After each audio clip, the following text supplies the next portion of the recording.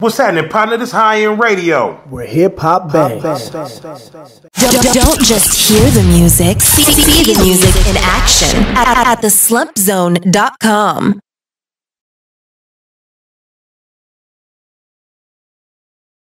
Knoc-turn'al is I was a songwriter. Um, I really never wanted to be in the limelight, but Dr. Dre saw fit to put me out there. Um, his wife, his queen, she was like, he's very marketable, you should put him out. And I didn't even expect that to happen, so uh, we created LA Confidential, and it just worked out. Like, if you think about it, how did Dr. Dre and Snoop Dogg make a movie and I had the lead single, which was Bad Intentions. That's true. It was not my decision to do. Right. And I really wrote that song for Snoop Dogg and Dr. Dre, but I was having sinus problems at the time. So that's what the I really know. and so it was for the the hook was for Snoop Dogg, and he couldn't do it like that. Dre was like he was just like keep it, keep it like that. We're gonna put it out. So, and with that in mind, and with that song coming out, and with that hook, where you did you get a lot of the uh, oh he's trying to be like Snoop with the look and the of sound, course, and that's my older cousin. He's Yeah. older than me by four years. Right. But, know I you, mean? but you guys is flowing your It's like, oh, it's the new Snoop Dogg. Yeah. Snoop Dogg ain't dead. How am not? How am I the new Snoop Dogg? I'm Knoc-turn'al. Hello. I, I went. I was. A, I went to a store in Texas one time. I don't know if anybody know what the Piggly Wiggly is, but it's a grocery store. A very popular grocery and liquor store in the Midwest yes, and South. Yes, yes, Mhm. yes, yes. And an 80 year old man with a cane said, "You know who you look like?" I was like, "No." He was like, "Snoop Dogg and Dog," and he started busting up laughing. I said, "Well, thank you. My name is Knoc-turn'al." He's like, "You a rapper too?" I was like, "No, don't even worry about it. But thank you for the compliment." You know what I mean? It doesn't bother me. You know what I mean? Snoop So, Dogg is very successful. Why would that bother me? have you had a chance to see uh, Defiant Ones? The new. Hmm? Uh, have you had a chance to see the documentary on Jimmy Iovine and Dr. Yes, Dre? yes. What is your opinion? My opinion on the Defiant Ones is they told a lot of the absolute truth. I was there for it. And what they went through, I was there for it, thick and thin. Right. With the beef, with Suge and all, like, I was there for Were you, it. were you there at the Source Awards when they when they tried to uh, beat up. Dre? It didn't work out so well for them. That part. Yeah. Um, you said this new generation of MC is not uh, uh, not an MC, the, uh, or, or or the new generation of hip hop artists is not a uh, an MC. Um, It's not a master of ceremony. that part. What I want you to do is uh, You know what rap means? Recording abstract poetry, and they're not doing that. elaborate. Okay, abstract poetry is something that you tell a story on, and it's a whole story base. What they're doing is they're just having verses, and they just keep saying the same thing over and over and over again on the hook, and they're not giving you the story. They're just saying, you know, dot dot dot or whatever. Like it's just like, come on, where's the storyline? Rap is recording abstract poetry. That's like if you call yourself a Crip, you need to be from California because it's California Revolution in progress. If you're from Texas, and you call yourself a Crip, you need to be called a Trip because you're from Texas. Like it's a difference. You know what I mean? I mean, I'm just being real. So, explain the importance of writing and publishing as an artist. Um, the importance of that is to get paid first and foremost. Of course, you know you need to register yourself um, with either BMI or ASCAP or Sound Exchange or the Royalty Network. Like these are all networks that is, is good for people to actually collect their money. But if you register with all of them, it's even better because then they just competing who's gonna get you the bigger check. But my thing is, is I didn't know that at first.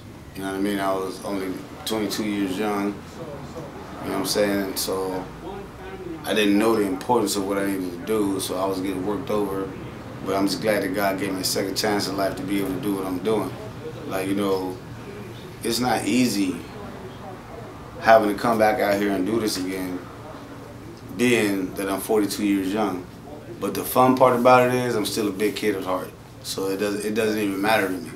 You know what I mean? It's just like here I go having fun again. Moving into this digital age where Mhm. shit it started with Napster and then so on and so forth. Now you people don't even hardly buy CDs. They don't even make cars with CD players. Right. Explain how that changed for you as an artist and for the company and for just for the business as a whole. This, this is the reason why I signed with Sony Red, is because it's I'm a global artist, and so Sony Red is a global. It's the urban department for global distribution, for digital distribution. You know what I mean? And so it actually makes me more money because all I have to do is put out the song and shoot a video, and I get my check within 55 to 90 days. It's fun to know that when I put out a video or I put out a song, within 55 days to 90 days, Sony Red and SMG is going to give me a check. So I actually like it more because it used to be a turnaround of a year or like maybe a year and nine months. Now it's just like 55 to 90 days, checking the mail. that part. You know what I mean? Describe your relationship with Dr. Dre. Well, first of all, everybody calls me Knock. Every time he sees me, he be like, Knock, knock. I be like, who is it? He's like, here you go. And he put on the beat. Uh, when I first met Dr. Dre, I showed up to the studio with my wife. I just got out of jail, out of the penitentiary. But um, so I'm sitting there thinking like to my wife, like, what can I, what, what rap should I say to him? What rap? She's like, baby, just be you. So I thought that like he walked by, I said, damn, he, there you go. You know, I'm getting all like nervous and shit, right?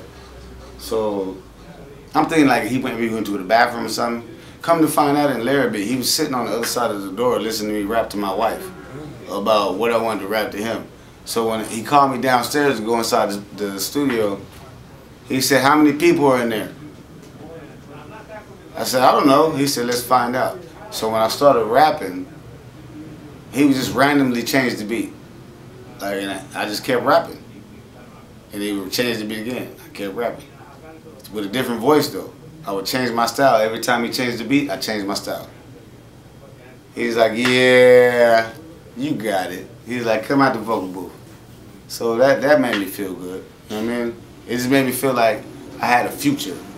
After doing four years and eight months in jail, it's like, fuck. And then he told me, why didn't you tell me it was your birthday? I was like, nigga, I'm in the studio with Dr. Do you think I give a fuck about my birthday right now and I'm on parole? Are you serious? I give a fuck about my birthday. Nigga, this is this is the best gift I could, I could ever have is being in the studio right now with you. He shut the whole studio down and took me out. And just shut down the whole red room in Hollywood.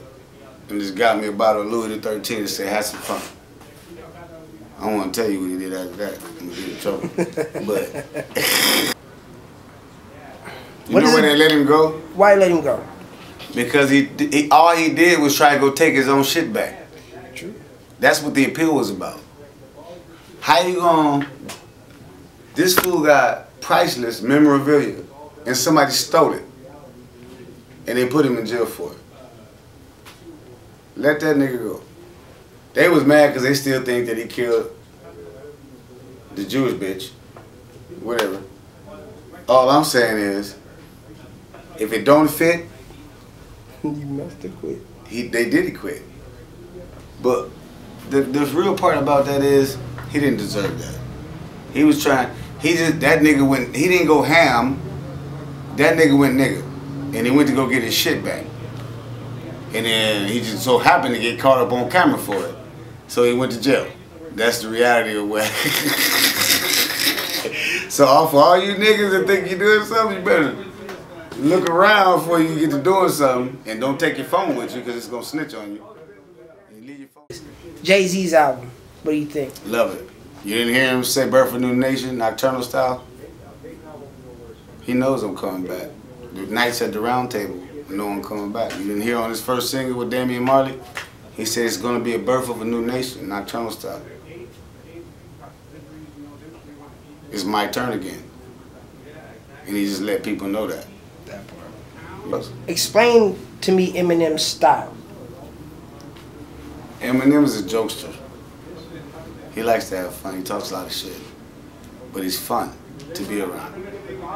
But he's also like, it, it's no gray area with him. Either he loves you hard or he's not fucking with you.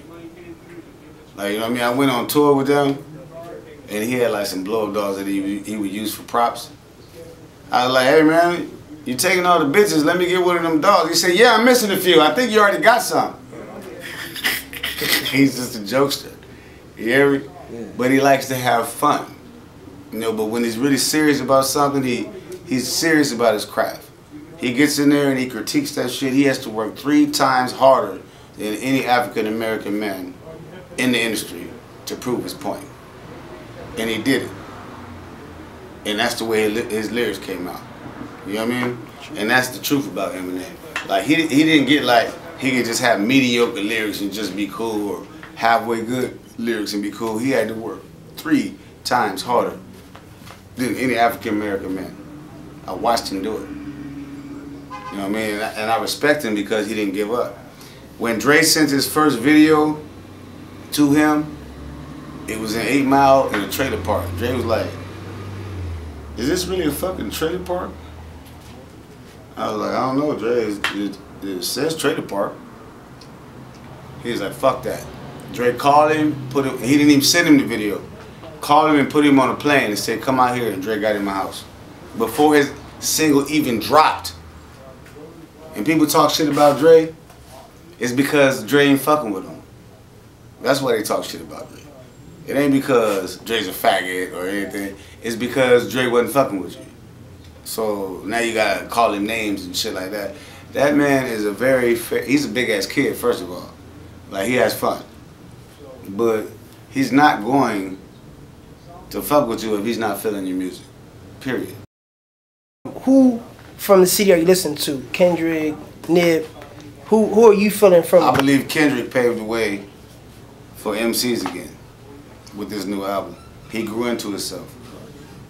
I believe with this album he just he just did, he it took him a second. You know what I mean? Like as it should, like anybody that needs to grow.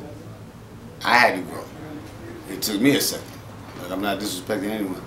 But I believe with this album that he paved the way for people to ride the wave again for actually music where people listen to the lyrics again instead of just the beat. Because what he's saying is impeccable. I mean, I'm just being real. Like I actually digitally downloaded the shit and bought it. It's on my phone right now. Oh, and I don't and I don't do that shit. That's the first time I've done that shit ever. But I, because of what he's saying, even when he's saying, hold up, hold up, hold up, hold up, little bitch, be humble. Mm-hmm. Sit down. He's not just talking to bitches. He's like, it's my turn. All of you motherfuckers, be humble. Sit down. That's a cold statement. He's talking to the world when he's saying that.